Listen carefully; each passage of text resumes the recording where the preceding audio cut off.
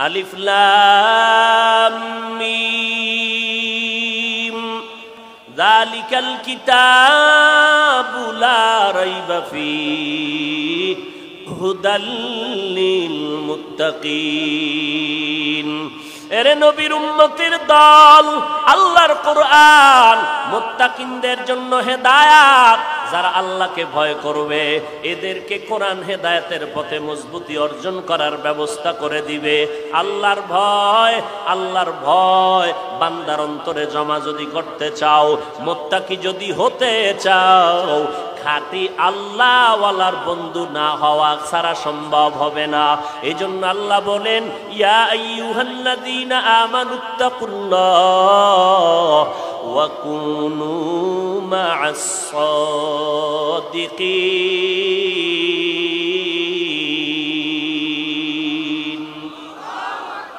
আউলিয়ারা, কারে ওকবা এখতিয়ার জাহেলারা, কারে দুনিয়া এখতিয়ার?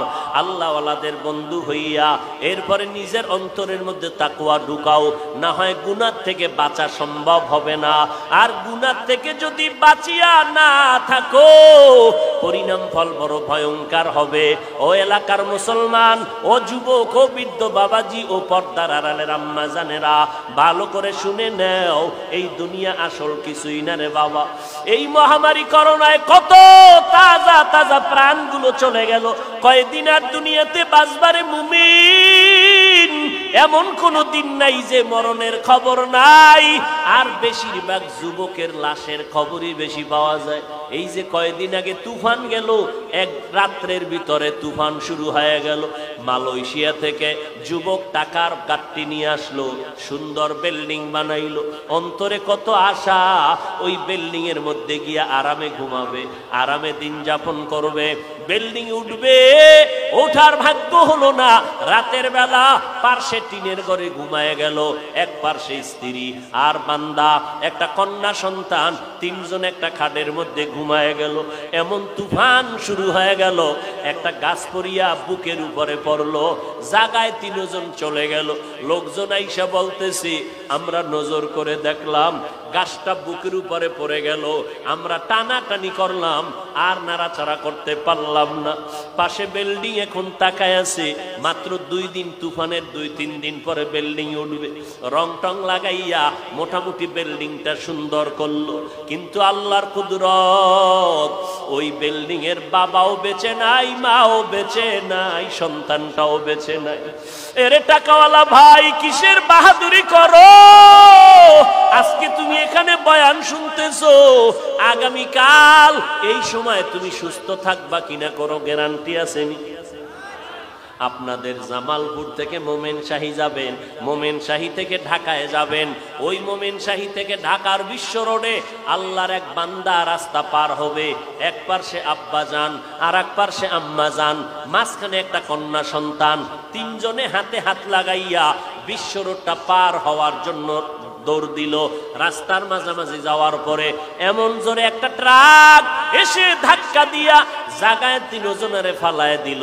বাবায় মারা গেল, মাও মারা গেল, কন্যা সন্তানটাও মারা গেল। ওই মহিলার গর্বে ছিল একটা বাচ্চা। তেরাকের চাপে পড়ে বাচ্চাটা বের হয়ে গেল। আজও পর্যন্ত ওই বাচ্চাটা এখনও জিন্দা আছে। বাবায় নাই, মা নাই, আপন বোনটাও নাই। এই বাচ্চাটা যেদিন বুঝের হবে ও বুঝের হইয়া তালাশ করবে আমার বাবাই কই? আমার মা কই? আমি কাকে মা বলে ডাকবো?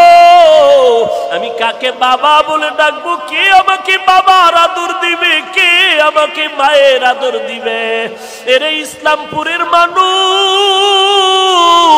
এই ময়দানে কত আল্লাহর গোলাম আছে, অনেকের মা নাই, বাবাও নাই। ওই অন্ধকার কবর থেকে দোয়ার অপেক্ষায় আছে, কিসের বাহাদুরি করো? আমার মাওলা চোখের সামনে দেখায় দিলে। এক ইটেরাকের চাপে পড়িয়া বাবায় মরে গেল, মা মরে গেল, কন্যা সন্তানটাও মরে গেল। কিন্তু গর্বের বাচ্চাটাকে আমার আল্লাহ কুদরতের দ্বারা বাঁচায় রাখলেন। বলো, হেফাজতের মালিককে ও নবীর উম্মতের দল, আমার মাওলাকে এখনও চিনো নাই রে মুমিন। আমার মালিক যে কত দয়াময় মালিক আল্লাহর দেওয়া জমিনে বসবাস করো রে বাবা। আল্লাহর দেয়া পানি, আল্লাহর দেয়া গাছ, আল্লাহর দেয়া মাছ, আল্লাহর দেয়া সূর্যের আলো, চাঁদের আলো। সব বুক করতেছো। এরপর আমার আল্লাহ কয় নাই, আমি তোমাকে বলি না সারা রাত্র এবাদাতে কাটাও। সারা দিন তুমি ব্যবসা বাণিজ্য বন্ধ করে আমার এবাদাত করো। আল্লাহ বলেন নাই বরং বান্দা ব্যবসা করো, চাকরি করো, লেখাপড়া করো, ডাক্তারি বড় বড় ইঞ্জিনিয়ার হও হও। আলহামদুলিল্লাহ, স্কুলে পড়ো, কলেজে পড়ো, কোনো বাধা নাই। আল্লাহ চাই কি বান্দা, তুই বাইশ ঘণ্টা সময় তুই ব্যবসা কর, চাকরি কর, সন্তানের পেছনে সময় দাও। চব্বিশ ঘণ্টার মধ্যে বাইশ ঘণ্টা সময় দিয়ে দিলাম তোমারে, মাত্র বাকি থাকল দুই ঘণ্টা। এই দুইটা ঘণ্টা তুমি তোমার কল্যাণে, আমার রাস্তায় ব্যয় করো। তাও একসাথে পারবি না, তুই ব্যস্ত। আমি আল্লাহ একসাথে দুই ঘণ্টা চাই নাই। ফজরের চার রাকাত নামাজে বিশ মিনিট দিয়া। এবার তুই আবার ব্যবসায় চলে যা। আবার জহুরের দশ রাকাতে বিশ মিনিট দাও। আবার তুমি দোকানে চলে যাও। আবার দোকানদারি করি এক ফাঁকে চার রাকাত আসর পড়তে বিশ মিনিট দাও। আবার তুমি ব্যবসায় চলে যাও। আবার মাগরিবের পাঁচ রাকাতে বিশ মিনিট দাও। আবার তুমি ব্যবসায় চলে যাও। এসান নয় রাকাত নামাজে আবার বিশ মিনিট দিয়া তুমি তোমার সংসারে ঘরে চলে যাও, তোমার স্ত্রীকে সময় দাও, তোমার সন্তানের সময় দাও, দিয়া রাতের বেলা আরামে ঘুমাও, আবার ফজরুইটা চার রাকাত নামাজ পড়ো, এই বাইশ ঘণ্টার ভেতরে মাত্র দুইটা ঘণ্টা সময়, বিশ মিনিট বিশ মিনিট করিয়ে তুমি নামাজে সময় দিবা, ব্যবসাটা নবীর তরিকায় করো, লেখাপড়া নবীর মোহাব্বত নিয়ে করো, ও বান্দা, এই বাইশ ঘণ্টার সময় তুমি যে ব্যবসার মধ্যে দিয়েছ, আমি আল্লাহ, এই ব্যবসাটাকেও তোমার নেকের পাল্লায় ওজন দেওয়ার ব্যবস্থা করে দিব। রাতের বেলা ঘুমাইয়া সময় কাটাইছো, আবার ওইটা ফজরের নামাজ যখন আদায় করেছ, আমি আল্লাহ তোমার ঘুমের সময়টাও নেকের পাল্লায় ওজন দিয়ে দিব।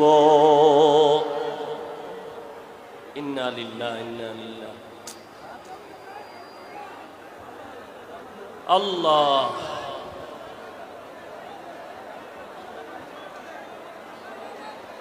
জিকির করেন লা লা লা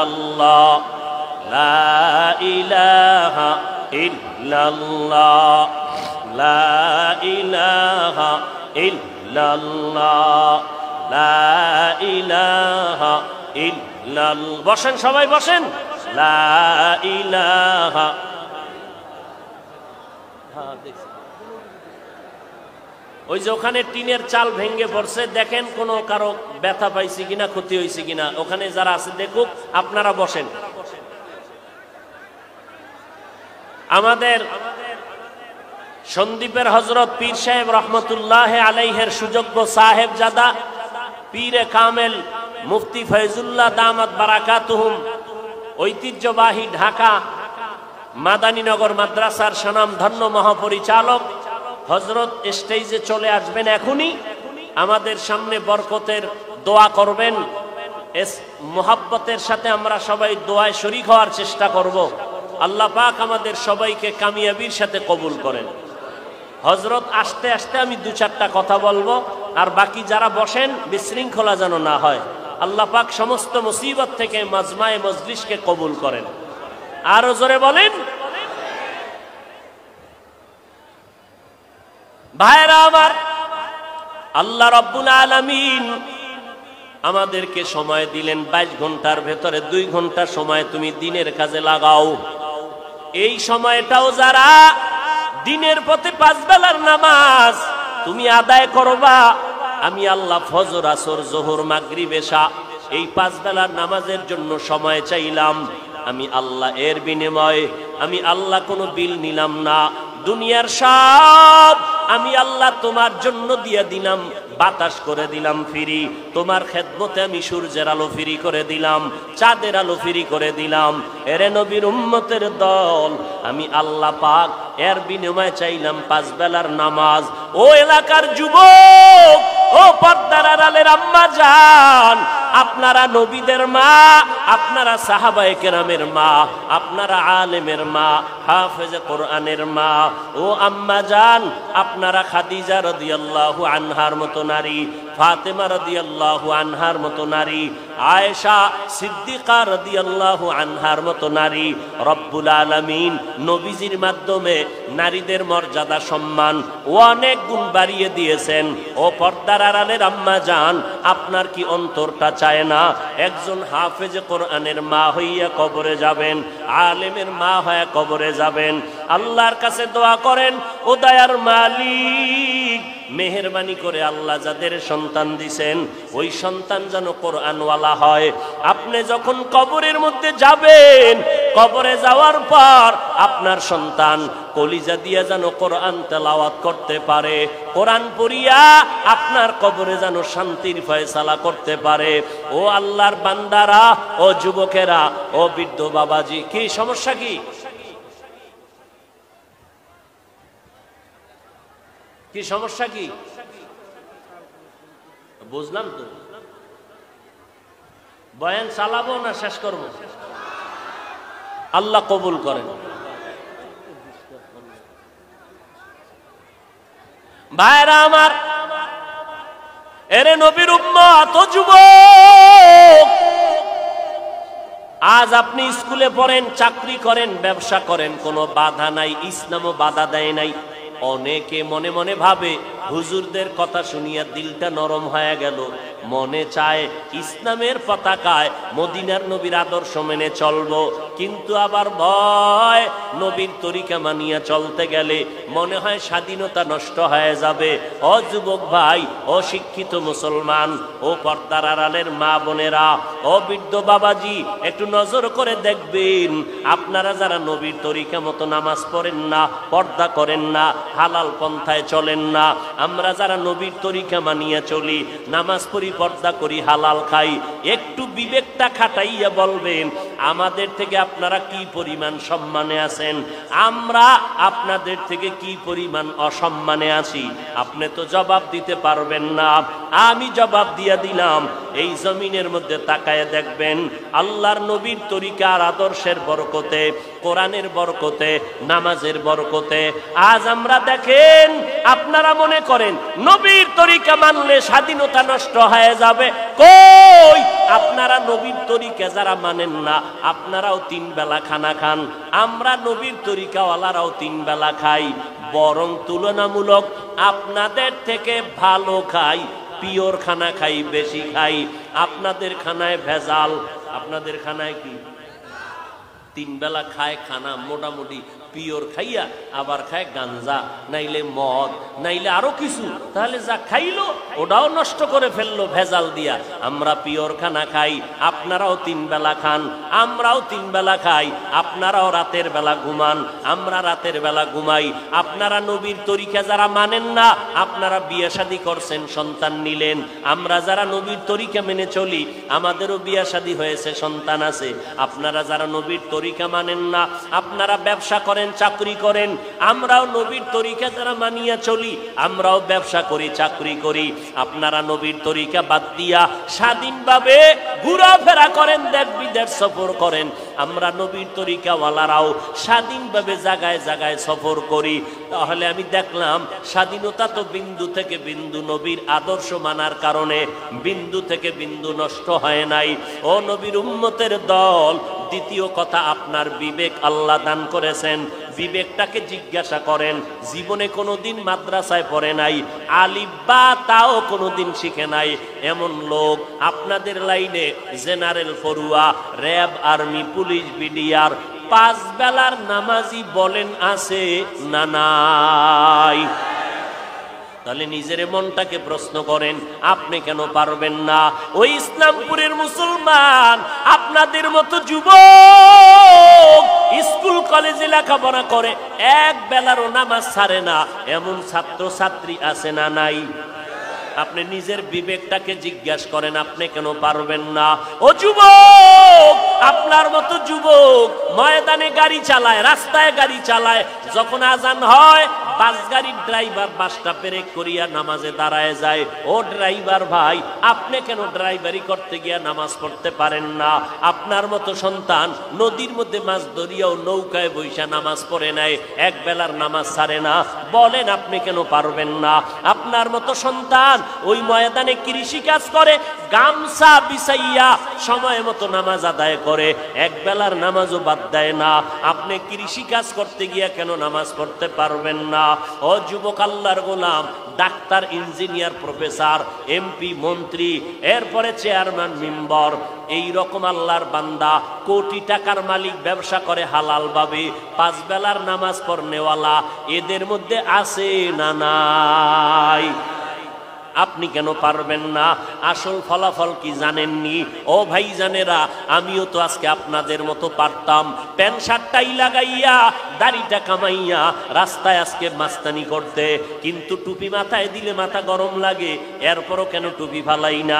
দাড়িটা লম্বা করার কারণে যৌবনের ভাব চলে যায়, এরপরও কেন দাড়ি ফালাই না? কারণ কি জানেন? শয়তান এদের উপরে গালেব হয়ে গেছে। শয়তান কি চায়? যে তুমি দুই ঘণ্টা না পাঁচ ঘণ্টা বয়ান শুনো, তবে মোনাজাত দিবা না। কেন? মোনাজাত যদি দাও, একজনার আমিন কবুল হয়ে গেলে সবার গুণা মাফ। শয়তান কইব, যদি তোর গুনাটাই মাফ করাইয়া দাও, মোনাজাত দিয়া, তো আমার জিন্দেগির চাকরি শেষ এই জন্য দেখবেন কিছু মানুষ দুই ঘণ্টা, তিন ঘণ্টা বয়ান শুনে মোনাজাতের আগে দিয়া ভাগে, কারণ শয়তানের অন্তর দখল করে নিছে, মোনাজাত দিয়া যেন গুনা মাপ করানোর সুযোগ না পায়।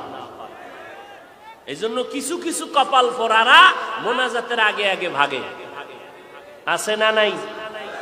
আপনারা কি মোনাজাতের আগে যাবেন না মোনাজাত দিয়া যাবেন? কি সবাই একমত?